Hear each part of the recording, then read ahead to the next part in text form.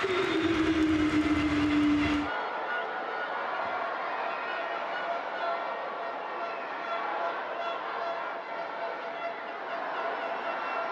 on, come on!